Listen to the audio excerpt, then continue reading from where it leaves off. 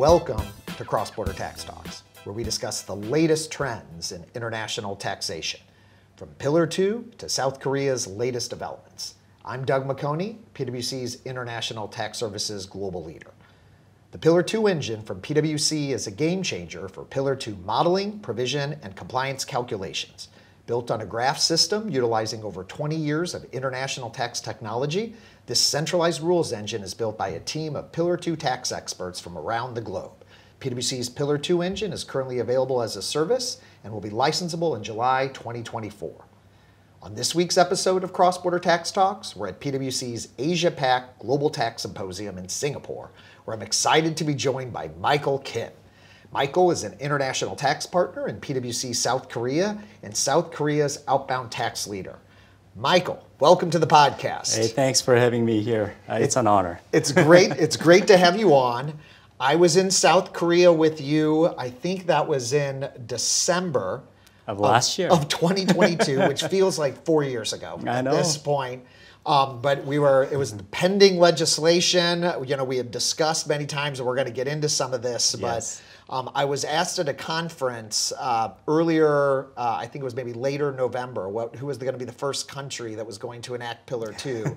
and it was your wise knowledge where I predicted South Korea, and several people chuckled. And when South Korea actually enacted, which again we'll get into, people are like, How did you know that? I was like, Well, I have a good advisor in South Korea. So it's a big honor to have you on. Thank you. So before we begin and Yep. jump into the Pillar 2 stuff, which I know the audience has a number of important questions for you, but we had some time to spend we would spend some time together in South Korea and you had shared with me that you were educated in Montreal, Canada. You obviously now work in Seoul where we met. Between those times you had the opportunity to work in the US. Mm-hmm. Where were you based and tell us a little bit about that experience because I don't know if I would have necessarily expected you to end up where you ended up. Right. Uh, so between 2007 and 8, uh, I spent about a year and a half in Charlotte, North Carolina. Okay. I was actually working on a client's acquisition. Okay. Um, so yeah, uh, it was Charlotte. For a South Korean inbound investment, I presume that, that brought you there. That's correct. Okay. That's correct.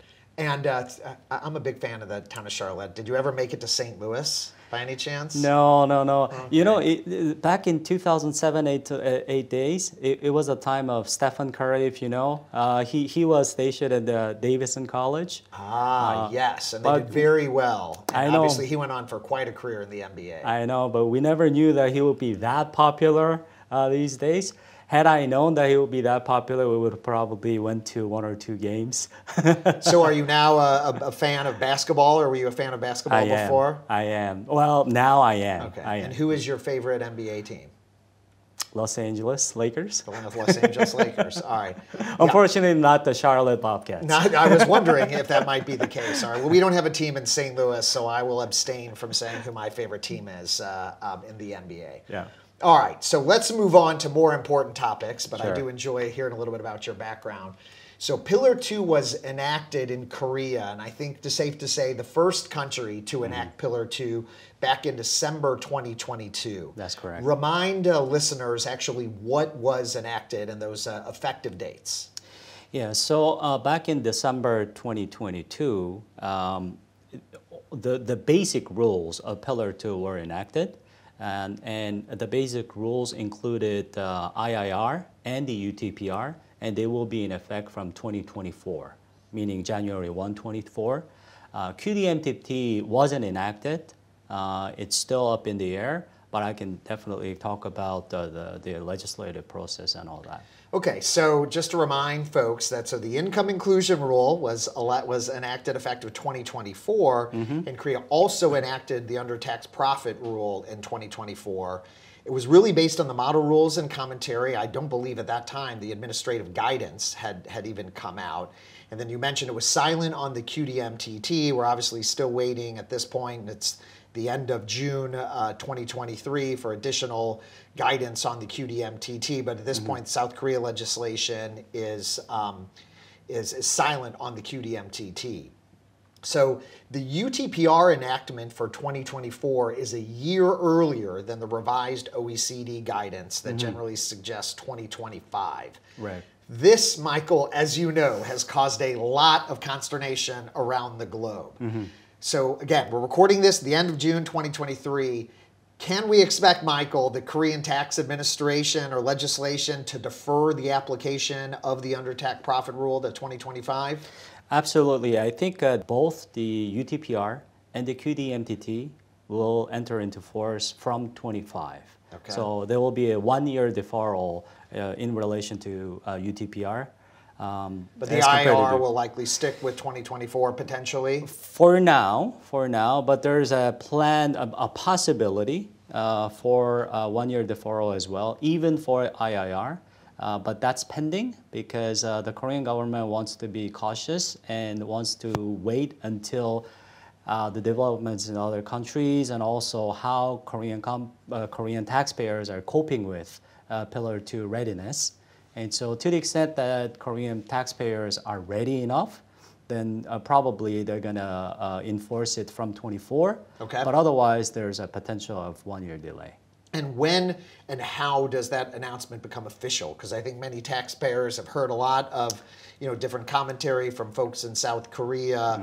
How does that and when might that actually become official? Do we need a, a some sort of proclamation from the Ministry of Finance, or how, how does that work? So the Korean legislative process is that every uh, towards the end of July, there's a draft legislation that gets published to the public, and so uh, once the draft legislation comes out, it's usually December uh, when uh, the Congress passes the draft legislation, and the president has to has to sign to become uh, enacted.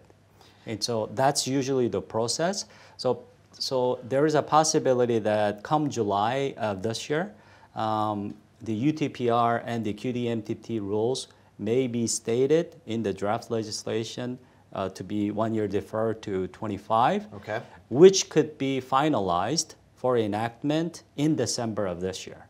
So only in December that we would know for sure whether uh, both IIR and the UTPR, together with the QDMTT, will be deferred to 25 or just UTPR and QDMTT. Wow. So we'll, we'll know kind of what the intention is of the government Absolutely. in July. Yep. But then we'll we'll have to wait about with bated breath to see if it actually gets passed in December um, of 2022 or in 2023 for the UTPR to be effective 2025. All right. Right. The, the- the, reason being, I, I know some countries, when the draft legis- legislation comes out, it, it, it is almost final as it is, and there aren't that many changes to it. Sometimes for Korean uh, legislative processes, even the draft uh, legislation may dramatically change uh, in terms of the effective dates and, and stuff like that. And so uh, we still have to wait until December to really ascertain ourselves about the effective dates. Okay. Yeah. And so, can you remind listeners or share with listeners why did South Korea have to enact these rules in December of 2022? Because I think that it is your legislative process that required you to have them enacted in 2022 for them to be effective even in 2024. But can you unpack that? Yeah, yeah, yeah. so, like I said, every end of July, Yeah. the draft legislation comes out, and the, the law passes in December of that same year. So, if you think about it, if, if, if the Korean government wants to, uh, in, wants to implement Pillar 2 from 24, they would have two choices. The first choice is to um, have published the draft legislation in July 2022 and make it final this- in December 2022 and give taxpayers one year window for I them see. to get ready. Otherwise, if they started this job in 23, then they wouldn't have a lot of time for the taxpayers to prepare to, to get themselves ready. Well, well, Michael, tax, tax authorities and policymakers and legislators from around the globe should take note of that because I think we're going to see a number of other countries that just enact the rules in December 2023 and they're going to be subject to 2024. But I, I, I found it very interesting. You've shared with that with me before. Hmm. It frankly makes a ton of sense, particularly for something as complex as Pillar 2. Absolutely. So I just have found it interesting. I've learned a lot about how the legislative process has worked around the globe, and I thought mm. that has been fascinating and something that you predicted and shared that we would get that in 2022. Kind of sticking with that kind of legislative and procedural point, How will South Korea incorporate administrative guidance that came out after these rules were enacted, as well as future guidance? Does that need to be legislated or is there a regulatory process? Yeah. How does that work in Korea to be able to incorporate future changes? Very good question. So, if you understand the Korean legislative process, then it would, it would answer your question automatically. So the, uh, the IIR and the UTPR enactment that happened last December was really only covered, I would say, 30% of the model rules. It didn't even include all the stuff that's included in the commentary, right. in the OECD commentary. So what's enacted at the moment is just the basic rules, and all the details that are related to the basic rules will be covered as part of the presidential decree that has yet to be released. Uh, the Korean government had originally planned to release the presidential decree related to um, Pillar 2 in February of this year.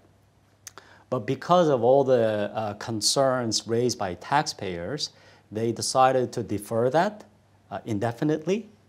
Um, so we're not, we're not sure whether the Korean government will issue something out in July of this year as part of the draft legislation. Mm -hmm. um, or they may defer it until the second half of this year, uh, towards the end of this year, or in a worst case scenario, until next February, which is 24 February. Okay. Yeah. And when the, does the presidential decree just come out once a year? Because one of the, the, things that I would anticipate is that there's going to be constant addition, or well, at least maybe several different tranches, if you will, of administrative guidance, and that I would imagine even in the future we might get, you know, next even in a couple years, still get batches of. Yep.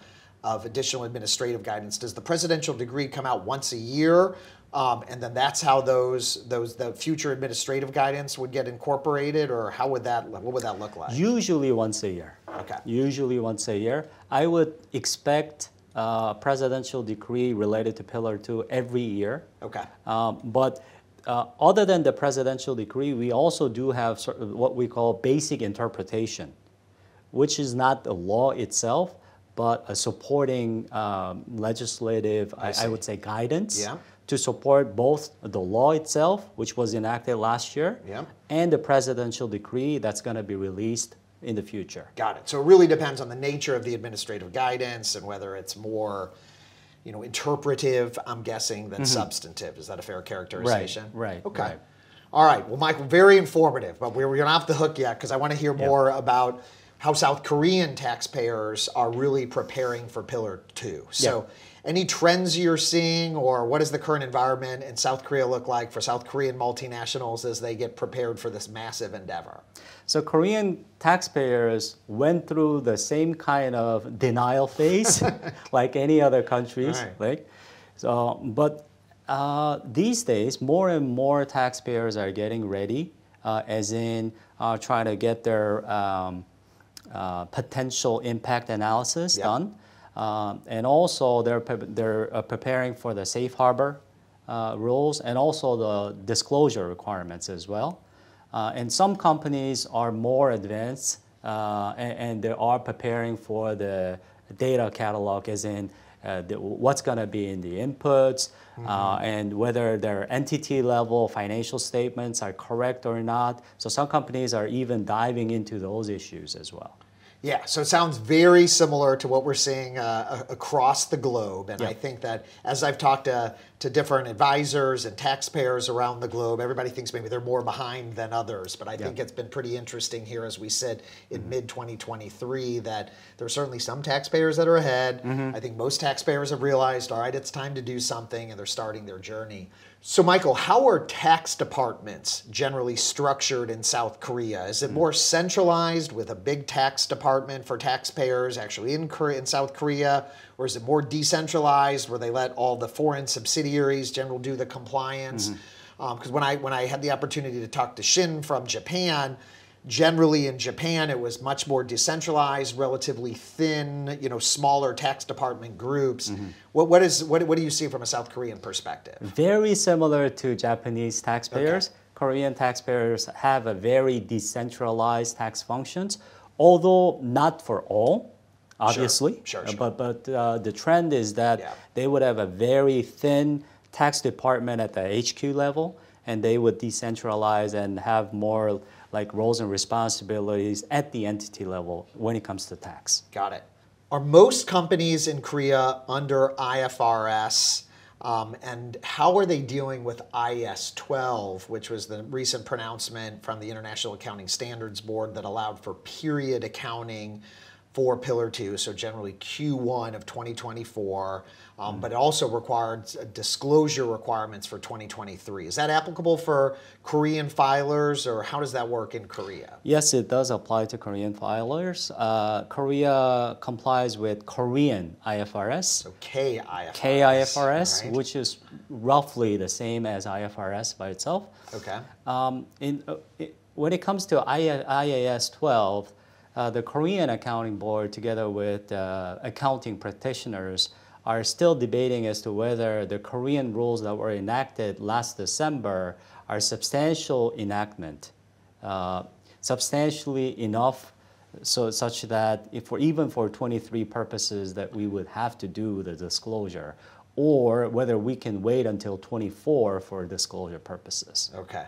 Um, that'll be interesting to, to see. I think for, I guess maybe the, the, the challenge will be even if the Korean rules are not substantially enacted to the extent that you have a Korean parented group that is operating in a jurisdiction that has substantially enacted the rules, presumably they'll need to do the tax accounting for those jurisdictions that have substantially enacted.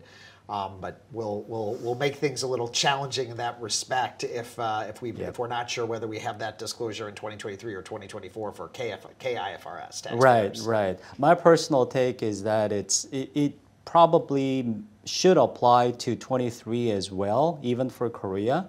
But like I said, still up in the air. Okay. We're gonna have to see. All right, we'll keep an eye on that. Yep. So let's turn now to um, the the safe harbors and specifically the country by country report. I think as you know, we've talked to a number of taxpayers and advisors around the globe. It's where many taxpayers are are starting their analysis.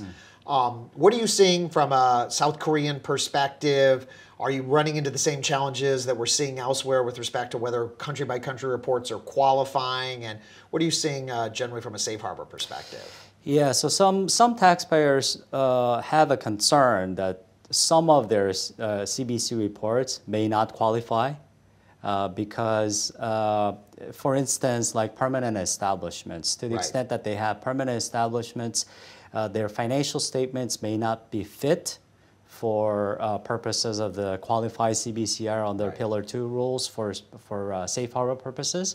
And so they're starting to uh, redo their, their financial statements uh, in a way that it could be fit for Pillar 2 purposes.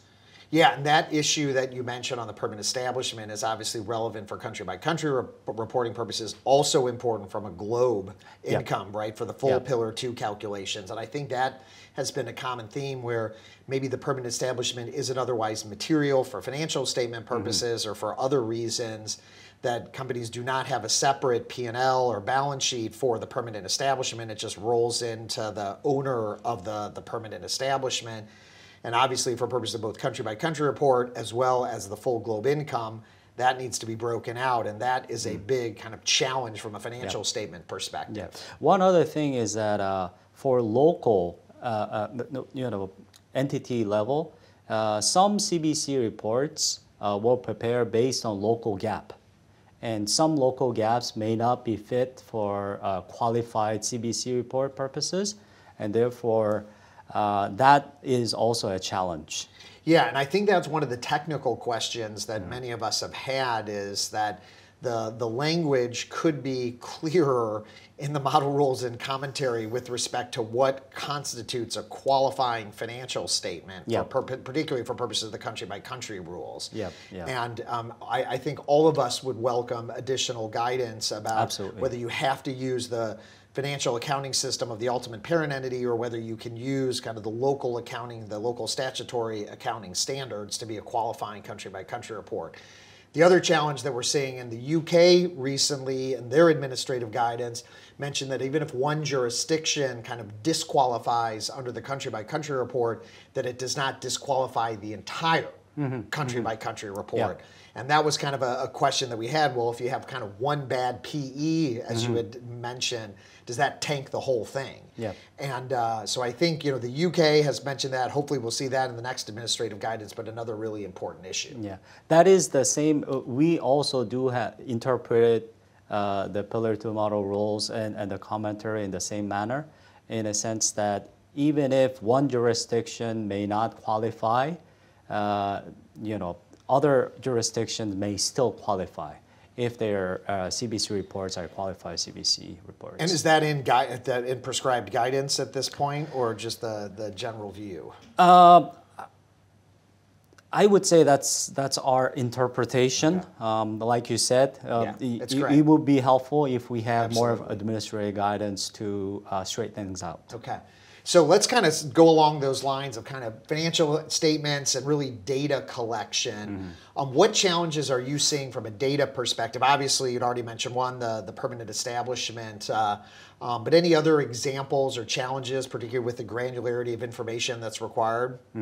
Well, the first thing first, it's it's the local financial statements, whether the local financial statements are correct and have been prepared, uh, you know, uh, consistent with the UP or the, the ultimate parent company's uh, uh, entities' uh, financial standards. Right. Uh, the other thing is because taxpayers were not used to getting data uh, prepared and gathered in a way that will be sufficient for Pillar 2 adjustments. One example is, say, investment companies that a UP per, per- perhaps has. Right. And for in order to um, accurately compute the adjustments, you would have to segregate between those investment companies or investment ownerships that are less than 10%, Right. that are over 10%, and that are one year, uh, one year or less, or that are one year and over. And then you would have to segregate between the four. Yeah, And, and the data provision or, or the, the data process has to be managed in that way in order for tax practitioners to be able to, to, uh, to be able to accurately uh, make the adjustments. Right, for the dividends that are coming from For, those. for dividends, yeah, yeah, Yeah. And so that's one perfect example of how, how much struggle uh, and challenges taxpayers would have because they have never been accustomed to uh, uh, pulling data in that way. Right. Um, one of the other, I know, you, I say unique or interesting, I should say, aspects of the Korean regime is that is you offer a foreign tax credit for uh, taxes assessed on a permanent establishment. So Yeah. Um, this is an issue that, that we deal with in the U.S. quite a bit. So Mm, um, how have you been thinking about kind of the allocation of those income taxes between the headquarter company and the permanent establishment? Uh, that's quite a challenge because uh, at the HQ level, the Korean HQ level, the, because of the Korean legislative, pro, uh, Korean tax code itself, uh, any taxes paid outside Korea, as in, in, in the location of the permanent establishment, would be used as a foreign tax credit, and all the income that's picked up at, the, at the permanent establishment level will also be subject to Korean taxes with the foreign tax credit. Right. And so the allocation between what portion of the Korean taxes is attributable to purely to the HQ and what portion should be attributable to the permanent establishment and whether the, allo- the attri- attribution or the allocation, uh, how, how these foreign tax credits come into play and whether if, if there's any other uh, tax credits uh, strictly related to the HQ, whether a portion of it should be also allocable to the permanent establishment. I mean, it, it's a chaos. There, it, this is a very, very difficult process to allocate taxes between the HQ and the permanent My, establishment. all I will say is the U.S. practitioners that are listening to this are generally saying, "Welcome to the club." so we have been we've been addressing and Yeah. dealing with this issue, and you're absolutely right. It's incredibly incredibly challenging, Yeah, and yeah. Uh, um, I, I- it's just welcoming to to hear that uh, we're not the only ones that, that are having to deal with some of those challenges. yeah. So let me turn now to the idea of, of covered taxes. And particularly some of the, the credits and incentives. So a lot of large Korean companies, obviously you have, you know, one of the largest tech industries on the planet, amongst other industries that invest in the US heavily and are planning to take advantage of green energy credits from the US Inflation Reduction Act, as well as the CHIPS incentives for semiconductors, for those that aren't familiar with that. So, what is the approach as for Korean multinationals on whether these are good covered taxes, particularly as those mm. Korean taxpayers need to make investment decisions in the US? Are mm. they conservative mm. and just assume, well, they're not going to be good covered taxes and you're going to pay a top up tax with the IIR? Or mm. what is the general approach? The general approach with, with these taxpayers is that they take a very conservative position. Yeah and uh, any U.S. tax incentives they get out of CHIPS Act or the uh, Inflation Reduction Act uh, would be subject to uh, Pillar 2 adjustment, uh, subject to top-up tax in Korea. Yeah, and I recorded a podcast several podcasts ago with Pat Brown on this very issue, and I think there are some technical positions out there to help support, and obviously depends on the type of the credit and whether you know direct pay versus transferable. Mm-hmm. Um, and, and so depending on the type of the credit and the fundamental nature of that, that some of those may, there may be a technical argument, but mm. it is less than clear mm. in the OECD guidance currently about whether those are good cover taxes or not. Right. And so I do think it's interesting that generally that the Korean investment are just saying, listen, just plan on a top up tax because that could really obviously be a really significant number and mm-hmm. can really alter and change investment decisions that Korean companies are making if they think they're going to be paying a, an additional top up tax in, in the US. And so, um, as part of the podcast that I did with Pat, we mm. talked about some of the guidance that we received in the last administrative guidance on tax equity structures, but really was silent on the Inflation Reduction Act. Right. Well, the tax equity structures are not really. Uh, a, a, a, topic of interest to most Korean taxpayers, uh, especially that are looking to invest in the U.S. under the CHIPS Act or IRA. Uh, if there's a, a positive uh, ruling or administrative guidance related to U.S. incentives being that, that we can use as a cover tax, then that's good. But for now, for planning purposes and everything, Korean companies tend to take a, a prudent stance and, and uh, potentially they, they expect a uh, top-up tax out of Korea okay. due to their investments in the U.S. Got it. All right, so last question then. Always like to hear from, from advisors. What advice do you have for taxpayers in both South Korea and we're at our Asia Pac mm. um, conference? So, what do you what, what advice do you have for both South Korean and Korean taxpayers and the region as they prepare for Pillar Two? because the model rules, the commentary, and uh, one, one set of administrative guidance is already released, and we would know exactly how the Korean presidential decree will be enacted.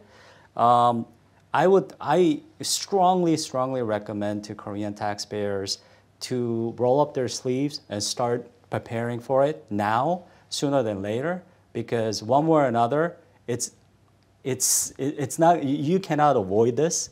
The storm is coming, and for you to be re as ready uh, as quickly as possible, it's just going to benefit uh, benefit more because the more you understand the rules and the more uh, you understand the elections, whether they're beneficial to you or whether they're detrimental to you, the more leverage you have in planning your for, for your investments, for your uh, uh, uh, subsidiaries and everything.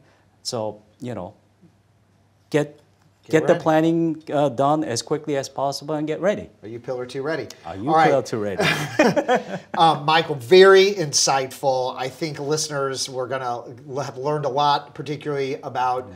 the Korean legislative process. We'll continue to monitor closely to see if that undertax profit rule gets postponed or at least gets mm. delayed until 2025, but very informative. Thank you very much for contributing to the Cross Border Tax Talks podcast. It's a great pleasure having me with you. Thank All you very right. much.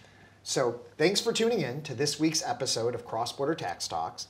Thank you, Michael Kim, a Seoul, South Korea based PwC international tax partner. I'm Doug McHoney, PwC's International Tax Services Global Leader. Stay tuned for another exciting edition of the Cross Border Tax Talks podcast.